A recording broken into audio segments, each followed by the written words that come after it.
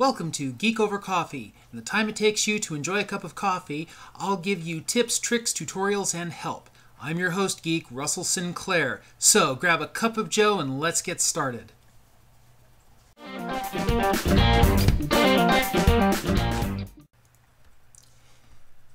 Today I'm going to talk about virus protection for your Windows computer. Now, out there in the world, there are programmers who love to write software that installs itself on your computer without your knowledge and does anything from serving up advertisements that you don't want to putting all of your information out on the internet. This type of software is called a computer virus. Now, sadly, once your computer is infected with a virus, the only thing you can really do is to format your hard drive and reinstall Windows. At that point, you might want to consider installing a piece of software called an antivirus software. Now, before I begin, I would like to point out that if you're already running a piece of software such as Norton Antivirus or AVG Antivirus, you do not want to install another piece of antivirus software. The two programs will end up fighting each other and will cause you many more problems. However, if you don't have any software like this, I highly recommend Microsoft Security Essentials. Today I'm going to show you how to install Microsoft Security Essentials. Alright, so we're at our Windows desktop, and in the lower right hand corner we see a flag with this little red circle. It says Solve PC Issues, one important message. Well, we click on that, and we see Find an antivirus program online, important. Well, that's what we're about to do. So, we open up our browser to Microsoft Security Essentials website. Here's the URL. I'll go ahead and put it in the show notes. All we do is we click free download. It asks if we want to go ahead and run it. We go ahead and say run. It downloads it. It runs a brief scan. This may or may not happen for you. And then it says user account control. And it asks do we want to actually run this? Well, we're going to go ahead and say yes because it's from Microsoft. We know that and we trust it. And it starts up our Microsoft Security Essentials installation wizard. We go ahead and click Next. Prompts us with Do we accept these software license terms? We click I accept. Then it asks if we want to join the Customer Experience Improvement Program. All this is, is it something it's a part of the software that sends information back to Microsoft that basically says how is this software running.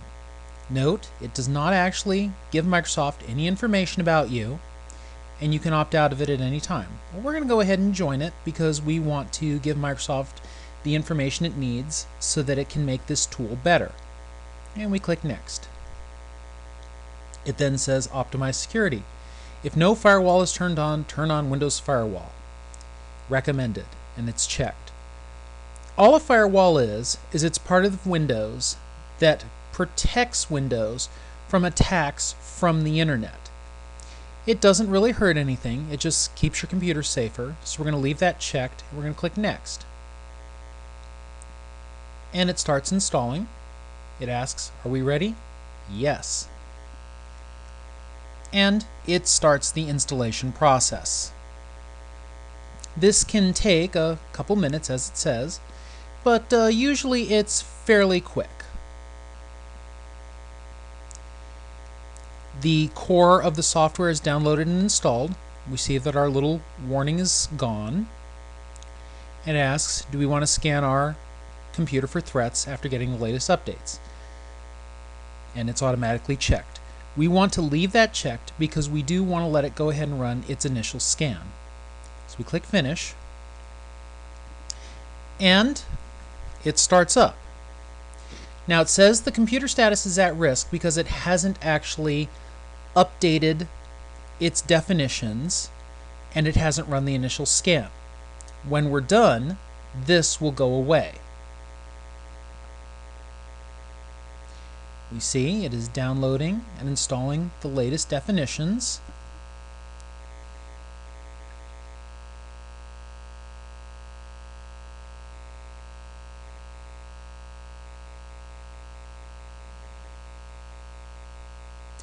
Don't worry about this message. It has to briefly turn off so it can install, but it turns back on. And it runs its first quick scan. At this point, you might want to go ahead and grab another cup of coffee while it installs. This can take anywhere from about 5 minutes to probably about 15 minutes. And now, through the magic of technology, we've skipped to the end. We see that the scan's completed. It didn't find any threats. Our definitions are up to date, and the real-time protection is on.